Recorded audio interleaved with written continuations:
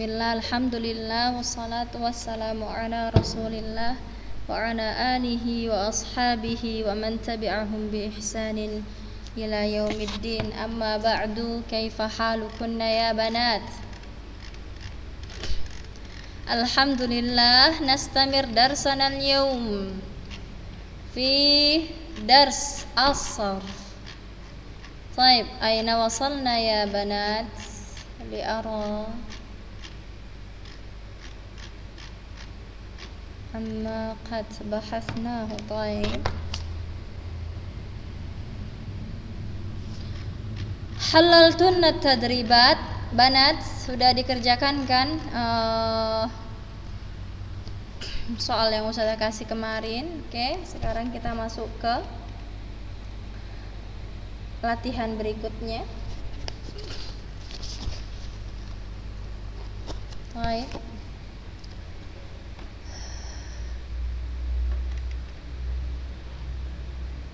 Yang belum mengerjakan latihan yang kemarin silahkan ya langsung kerjakan latihannya.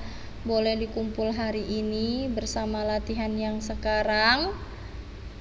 Batas waktu pengumpulannya sampai jam 5 sore ya hari ini jam 5 sore. Barakallahu fiik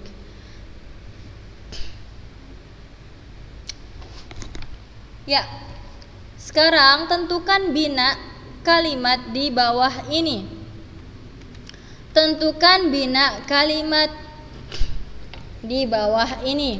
Apa itu bina? Nah, kalian kan kemarin sudah belajar tuh. Kita sudah belajar kan? Apa itu bina? Bina adalah bentuk fiil yang ditinjau dari dari komponen atau bagian hurufnya dan tata letaknya. Itu namanya bina. Fiil yang ditinjau dari komponen huruf dan tata letaknya. Ada bina sahih yang tidak ada huruf illahnya. Ada bina mudha'af. Ada bina misal ada bina ajwaf. Bina naqis lafif makrun lafif makru dan mahmus. Ya ada tujuh macam bina. Taib. Sekarang kita kerjakan kalimat wa'ada. Wa'ada mana fa'ul fi'linya kak? Huruf apa fa'ul fi'linya? Huruf wow Ainul fi'linya huruf apa? Ain. Lamul fi'ilnya dal. Taib. Nah, wa'ada. Kira-kira ada enggak di fi'il ini ada atau tidak huruf illahnya? Huruf penyakit. Huruf penyakit kemarin sudah bilang ada tiga. Huruf illah ada tiga. Aya, waw, ayu. Taib, ada enggak dari uh, fi'il wa'ada ada atau tidak huruf illahnya ada ya. Mana huruf illahnya? Ini huruf wow huruf illah. Berarti kalau huruf illah berada di awal atau di faul fi'li berarti dia termasuk bina apa Bina bina misal. Nama binanya misal atau fi'il misal. Fi'lul misal. Fi'il yang fa'ul fi'linya adalah huruf illah. Ya? Bina misal. Sekarang kita lihat taba. Taba Taba ada nggak di sini? Ada atau tidak? Di fi'il taba huruf illah ada di tengah di tengahnya atau di ainul fi'linya. Berarti kalau ainul fi'li yang huruf illah berarti dia bina apa? Bina fi'il apa? Fi'lul fi'lul ajwaf. Iya kalau di tengah faul uh, huruf illahnya di tengah maka dia fi'lul ajwaf. Kalau huruf illahnya di awal maka dia fi'lul misal berarti akhadha fi'il apa? Kak akhadha fi'il apa? Ha akhadha di mana dia uh, huruf illahnya di mana di faul fi'li ya kan di awal faul fi'li sama dengan wa'ada sama tapi apakah akhadha termasuk fi'il uh, misal? Ah, ayo fi'il misal atau bukan? Bukan. Jadi dia fi'il apa ustazah? Tapi dia uh, huruf illahnya di awal, di faul fi'li sama kayak wa'ada. Wa'ada huruf illahnya juga di faul fi'li. Wa'ada di faul fi'linya huruf illah dia fi'il misal. Kenapa akhadha tidak termasuk fi'lul misal usada atau bina misal usada? Jawabannya adalah Oke. Kalau seandainya ada fi'il yang fa'ul fi'ilnya hamzah atau ainul fi'ilnya hamzah atau lamul fi'ilnya hamzah maka dia disebut dengan fi'lul mahmuz. Fi'il mahmuz. Ya ingat aja hamzah berarti kalau uh, huruf ilahnya huruf hamzah baik itu dia di awal di faul fi'li atau ainul fi'li dan lamul fi'linya salah satunya adalah huruf hamzah maka bisa dipastikan dia binaknya bina fi'il mahmus. Barakallahu fik. Balagha ada enggak huruf illahnya? Tidak ada berarti dia termasuk bina fi'il sahih sahih itu artinya selamat ya sehat. Oke benar. Dia tidak tidak terkandung di dalamnya huruf illah. Oke hafa Hafa, oke ada yang bertasdid bertasdid begini. Berarti artinya kalau ada tasdidnya ini ainul fi'li dan lamul fi'linya satu huruf. Asal katanya hafafa bukan hafa tapi hafafa ya kan? Hafa. Termasuk fi'il apa? Bina fi'il apa? Bina fi'il mudha'af mudha'af ya. Yang sama uh, fiilnya. Kemudian walia, nah, perhatikan walia di awal faul fi'linya uh, faul fi'linya. Huruf illah. Lamul fi'linya juga huruf illah kan? Wa sama ya. Nah, ada dua ini ustazah huruf illahnya. Jadi dia termasuk bina apa kak? Bina Lafif. Lafif terbagi menjadi dua. Lafif Mafruq Sama lafif makrun Ini termasuk lafif apa? Kalau yang makrun Perhatikan ya Kalau lafif makrun Ingat aja arti korona Korin itu artinya bersanding atau ia bersanding. Berarti huruf illahnya langsung dia. Tidak ada pemisah. Kalau ini kan ainul fi'linya bukan huruf illah kan ada pemisah kan?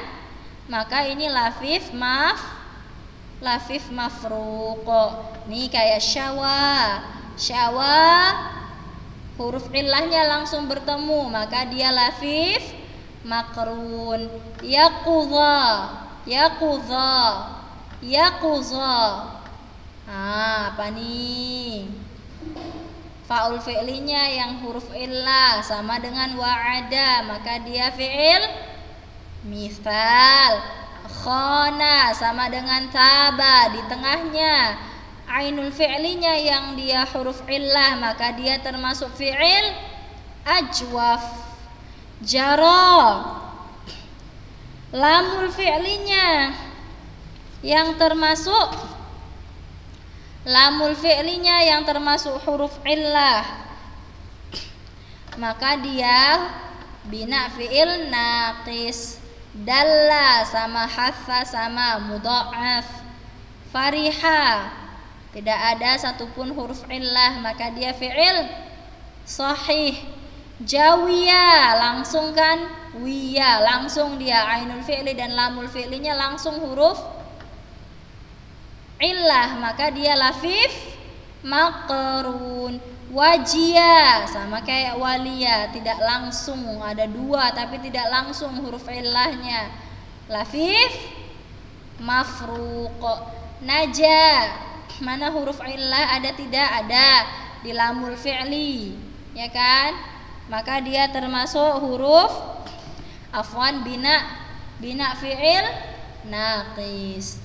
Bana juga lamul fi'linya maka dia bina fi'il naqis akala.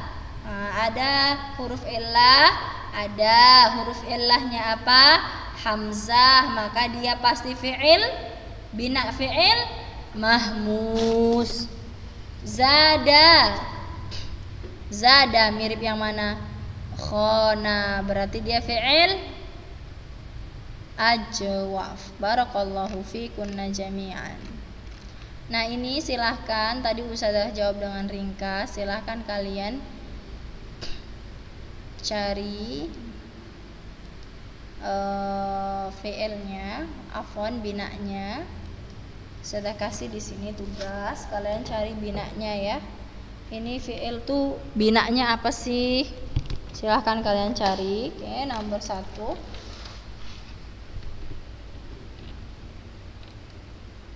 oh afwan di sini tidak bisa ngetik bahasa Arab oke insya Allah nanti saya kirim di grup aja ya nah Setelahnya perhatikan cari huruf tambahan dalam kalimat-kalimat di bawah ini. Nah, kemarin kita juga udah bahas ya. Huruf tambahan asal dari fiil atau isim dalam bahasa Arab itu asalnya dan kebanyakan cuma terdiri dari tiga huruf cuman terdiri dari tiga huruf. Jadi usahadah ini karim ada huruf kaf, ro, ya, mim berarti empat usahadah. Qatil juga qa, alif, ta, lam empat usahadah. Mamnu' mim, mim, nun, waw, ain ada lima malah usahadah. Kenapa usahadah bilang tadi? Kebanyakan hanya berjumlah tiga huruf. Taib. Ya, betul. Jadi yang ada empat huruf, lima huruf, enam huruf itu berarti ada huruf tambahannya. Kemarin kita sudah bahas huruf tambahan ada berapa? Hmm, kalau disingkat jadi apa? Saal tumu ni ha ada sepuluh. Saal tumu niha. Nah sekarang Coba kalian dari kata karim. Saya kasih contoh ya. Karim huruf tambahannya apa? Usada bilang kasih contoh ya. Nih, satu, dua, tiga. Tiga pertama Usada kasih contoh. Karim huruf tambahannya adalah ya. Ya, di sini. Al ya. Saya tulis di sini ya. Oke. Asal katanya karoma. Kalimat mustaghfirun huruf tambahannya di sini ada huruf mim, sin sama ta. Ini tiga huruf pertama. Mim, sa sama ta. Musta ini nih, mim, sa sama ta ini huruf tambahan. Asal katanya ghafaro, tiga huruf. Yang terakhir mubtadi'un mubtadi'un huruf tambahnya tambahannya ada huruf mim di awal dan huruf ta sebelum dal mim dan ta asal katanya bada'a barakallahu fikunna jami'an ya akhawat sudah mau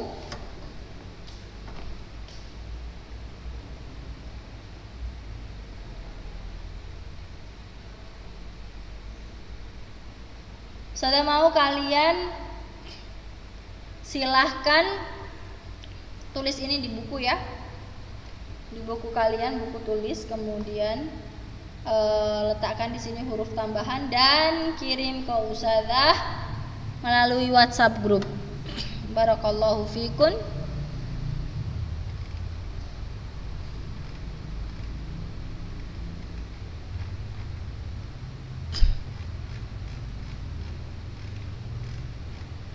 Baik.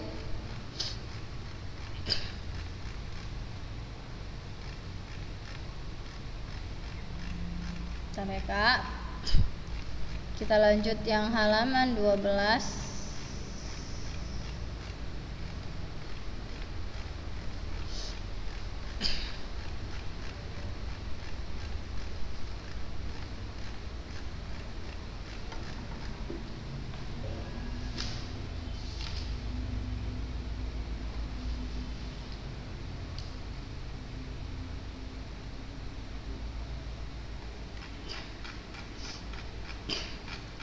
Kak, ini ulangan ya, Kak? Afwan maksudnya ini nilai harian. Nanti Ustazah masukkan ke nilai harian kalian. Karena memang sorof, ini pelajaran sorof, dia banyak latihan-latihan, banyak prakteknya. Jadi kalian ngerti, gitu ya.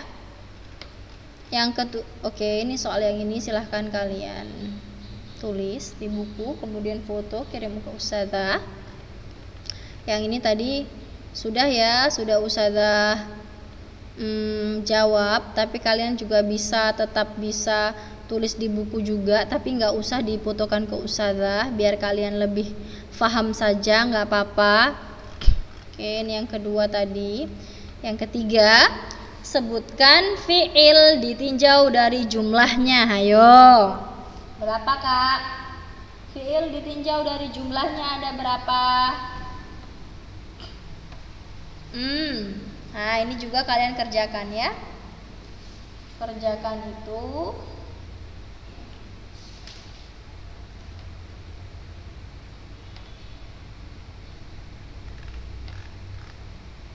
Nah, kemudian ini. Tentukan fiil afonnya itu enggak enggak enggak jelas, silahkan dicatat.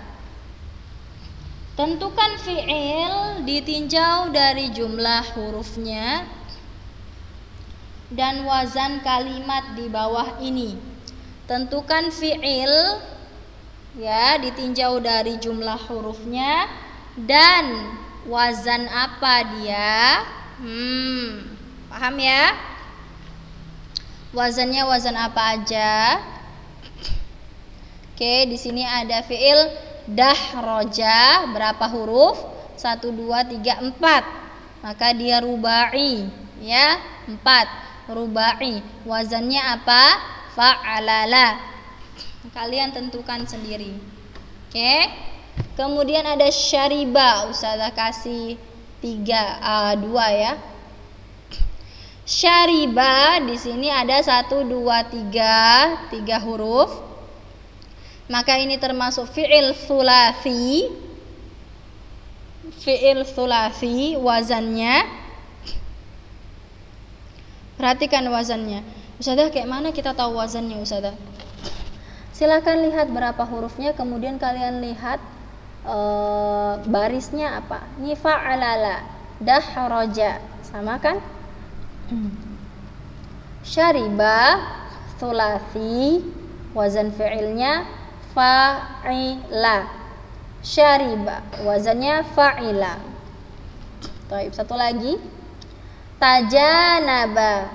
Tajanaba. Berapa huruf nih? Satu. Ta, jim dua, alif tiga, nun empat, ba lima. Berarti lima huruf dia fi'il khumasi fi'il khumasi. Wazannya apa Ustazah? Tafa'ala. Tafa'ala. Tafa'ala. Oke. Satu lagi ya. Ada irtada'a. Berapa huruf? Satu dua tiga empat lima. Lima huruf berarti dia khumasi. Wazannya apa? If if ta'ala if ta'ala if ta'ala. Barakallahu fikunna ya banat. Silahkan dicatat dan dikerjakan ya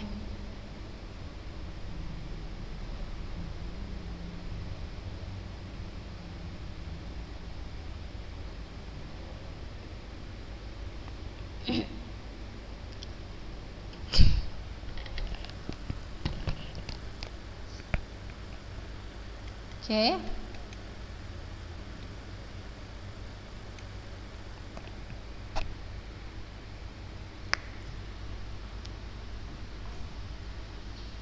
Yang tidak paham boleh ditanyakan ke usadah ya.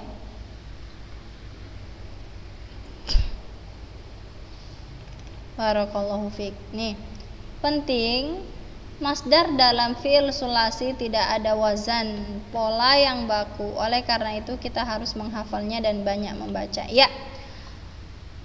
Masdar kemarin kita sudah bahas loh ya. Masdar ya dalam fi'il itu tidak uh, fi'il sulasi dia tidak punya uh, rumus yang tetap. Maka bagaimana usada kita bisa tahu itu kalau itu tuh masdar sulasi?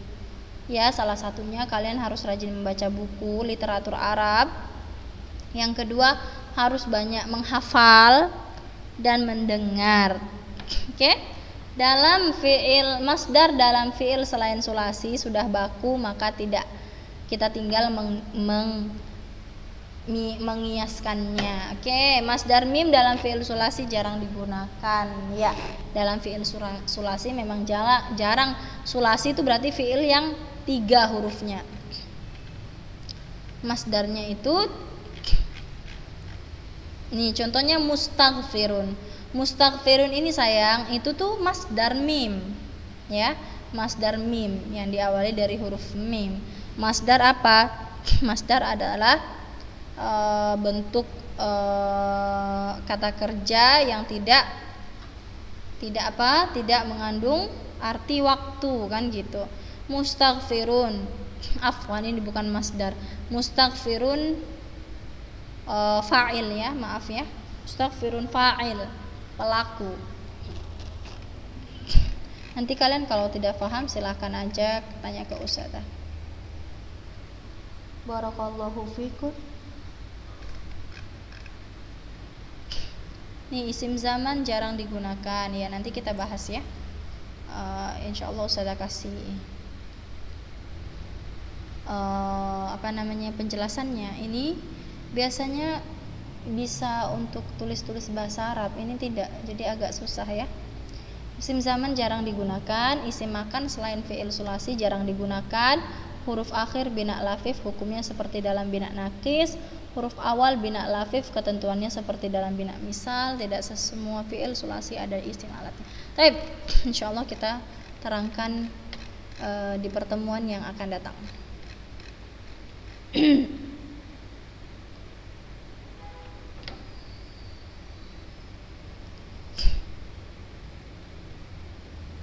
Oke. Okay.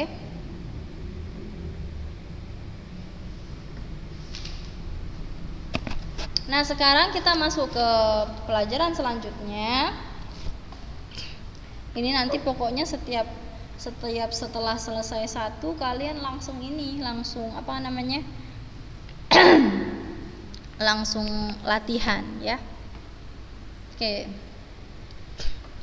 Ini dia e, namanya adalah tasrif. Tasrif itu perubahan dari fi'il madi kata kerja lampau bisa jadi ke fi'il mudhari kata kerja yang sedang atau yang akan terjadi kemudian bisa berbentuk masdar bisa berbentuk fa'il bisa berbentuk maf'ul bisa berbentuk maf'ul bisa berbentuk fi'il amr Kata perintah bisa berbentuk fi'il nahi, kata kerja larangan bisa berbentuk zaman. Zaman berarti yang menunjukkan waktu bisa berbentuk makan, menunjukkan tempat bisa berbentuk Allah, bisa berbentuk alat. Nah, tapi oke. Okay, maka dari itu kita harus tahu ya kan harus tahu bagaimana perubahannya dan biasanya dia sudah punya yang namanya hmm, rumus bakunya. Oke, kalian tinggal mengganti-ganti saja. Ini contohnya fi'il sahih. Fi'il sahih apa? Bina sahih.